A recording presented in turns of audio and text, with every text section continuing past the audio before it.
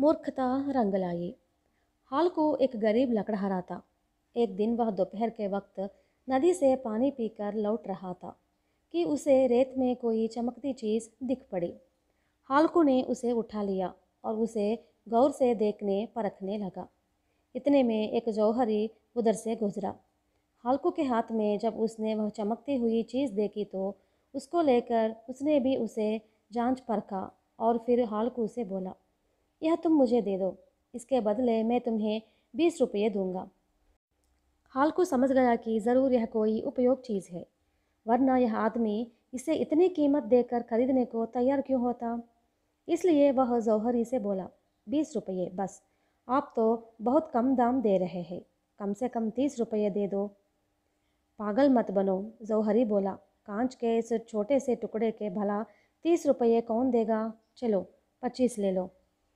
पर हाल को अपने बात से टस में मस न हुआ। वह बड़ी टसक के बोला, तीस रुपये से एक कौड़ी भी कम नहीं होगी।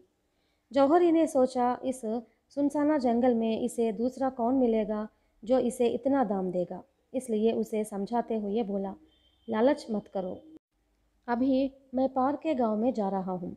इस बीच तुम सोच लो। पच्चीस रुपये लेने हो तो मैं तैयार हूँ। वैसे इसके अगर कोई तुम्हें दस रुपये भी दे दे तो गनीमत समझना। जौहरी को उस गाँव में ज़्यादा वक्त नहीं लगा। वह लौटा तो हालकू से बोला, अब समझ में आ गया ना? यह लो पच्चीस रुपये और वह मुझे दे दो। वक्त हाथ से निकल गया तो पछताओगे। पर मैंने तो उसे बेच दिया है।